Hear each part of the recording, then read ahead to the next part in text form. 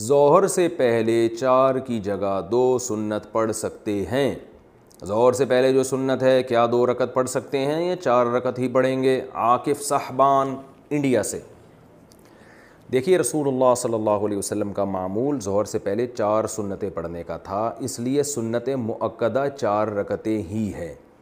लेकिन अगर आपके पास चार रकतों का टाइम नहीं है तो something is better than nothing कि बिल्कुल छोड़ने से बेहतर है, कम अज़ कम दो रकतें पढ़ लें। और इसकी भी दलील है, रसूलुल्लाह सल्लल्लाहु अलैहि वसल्लम की सही हदीस है, आपने फरमाया, बैना कुल्ली अजानैनी सालातुन। तीन दफ़ा फरमाया कि हर दो अजानों के दरमियान नमाज़ है।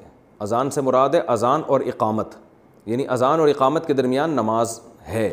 फिर तीसरी दफ़ा में आपने फरमाया, लिमन शाह उसके लिए जो चाहे, यानी कोई वाजिब नहीं है ये।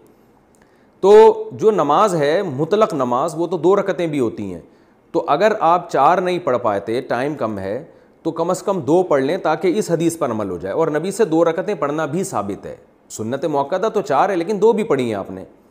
तो इसलिए बिल्कुल छोड़ने से बेहतर है कि आप कम अज़ कम दो रकतें पढ़ लें ताकि एक हदीस पे अमल नहीं हो रहा तो कम अज़ कम दूसरी पे अमल हो जाए। फिर चूँकि ये चार सुन्नतें मौकदा थीं ये छूट गई हो तो फिर उसको फ़र्ज़ नमाज़ के बाद पढ़ लेना चाहिए। यानी इसको बिल्कुल लिया तर्क ना करें, बल्कि आप दो रकतें पढ़ लें, अगर चार का टाइम नहीं है, फिर जब चार फ़र्ज़ पढ़ें, फिर उसके बाद आप दो सुन्नत पढ़ें और फिर चार रकतें पिछली वाली भी पढ़ लें।